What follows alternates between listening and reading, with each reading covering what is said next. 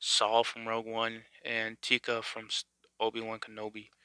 And these are pretty good. This is the front, this is the side, the back, the info, the barcodes and stuff. Well, not the barcodes, but the blah blah blah blah stuff, Disney stuff. And the side, the top, you know, the front, the side, the side, the back. I mean, they call this a deluxe, but me, I wouldn't include the ball head version, double headed, so you can change it, and maybe like double hands or something cool, you know, extra pieces. But you can see all the detail he's got on him. He's got all these wiring and tubes and stuff. But yeah, the tubes are cool. You can see the see through and stuff. But um, let me get these guys out of the box, and I'll be right back. Okay, so here's a good look at them outside the boxes. Here's their accessories. Is this kind of like musket looking gun, futuristic. You know, I call it musket because it has this big, you know, like horn on the top. Then I guess this is. It looks like a lamp. I'm not sure. I haven't. I haven't really seen like Kenobi details much. Which I watched the show, but it's been. I gotta rewatch it again. And I guess a pile of junk which is pretty cool because you know it's a smaller figure, which should come with like more accessories. But yeah, it's pretty cool. Oh yeah, let's look at these ones. Comes with his cane, his walking cane. It looks pretty decent, not too bad. And he comes with this gun, this futuristic gun. But yeah, you can look at this guy. It's not too bad. Does he have a waist? Yeah, waist kind of bends a little bit. Not really backwards, but his head's okay. Turns, twists, looks down, eh, because of this thing, but you can see the face. Pretty dark bandage. Arms go up. Single jointed. Swivels and bends. Kinda. Oh, there it goes. Gotta loosen it up. He's got little hands. He's got some leg articulation. He can't really go out much or up and down, but he's got a single joint, I think. Single knee?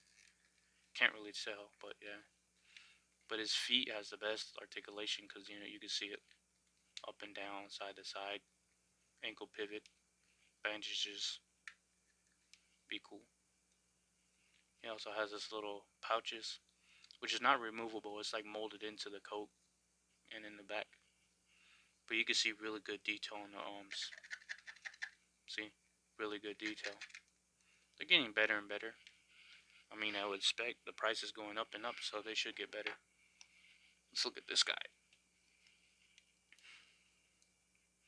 Not too bad. Pretty good armor. He's built pretty big. I mean, it should be a deluxe. Comes with this breathing tube, I guess. I guess because he's an old guy or big guy, he has to breathe really hard. He's got the Terminator Robocop feet. He's got the hobo sandals right here. I don't have any of the Rogue characters, but I plan on getting them. He kind of looks cockeyed right there. The way they made him look. But his head doesn't even move, like, at all. Like, it turns a little bit, but it doesn't look really down and up. That's how it goes. See, have double joints or single joints? Let's see. Single but swivels. Kind of goes up that far. Swivels. Swivels right here at the hands. Kinda. New figure is always like rough. Let's see. Oh, he can actually kick pretty decent. Single joints, of course. Swivels right here. Does it have a... Yep. There it goes. That's good. His feet actually has a little swivel right here too. Oh dang, really good ankle pivot. Rock's very good. You need that. And everything right here is like, you can remove it I guess. Not remove it, but wiggle it. You want to be careful you don't want to snap that. Or that. Or that one. But I've seen people could take off the cape, but I'm not going to try that. And you could take off this part too if you really wanted to, but I don't feel like doing that on camera. I might break it or something. It kind of reminds me of the um the Valkyrie Marvel Legends figure that has the rope, and the Thor from Ragnarok that has a little cloak. But his gun goes right here in the holster, which holds pretty well. and his staff. Oh, the other guy fell down. His staff, does it split somewhere? Or no? Nope. Just gotta be careful, try to get it in his hand. There we go. Little, little rope one in him. Little rogue one in him. That's how you say it. Don't mumble, fool. Oh, I'm sorry. Yes. Put him on the stand. Move this stuff out the way. Put him over here. Let's do some size comparisons. Got the Walgreens exclusive clone. Don't know name, sorry, but uh, I'm messing this whole video up. Yeah, that's how tall he is next to him. We'll bring in this guy from the Bad Batch.